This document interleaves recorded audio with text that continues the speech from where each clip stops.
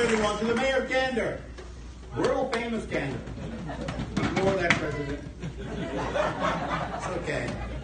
To our federal executive that are here with us, thank you very much. We'll have a lot of time uh, to be discussing issues with you. To all our MPs who are not with us tonight, as already been mentioned, they will be here tomorrow, doubt.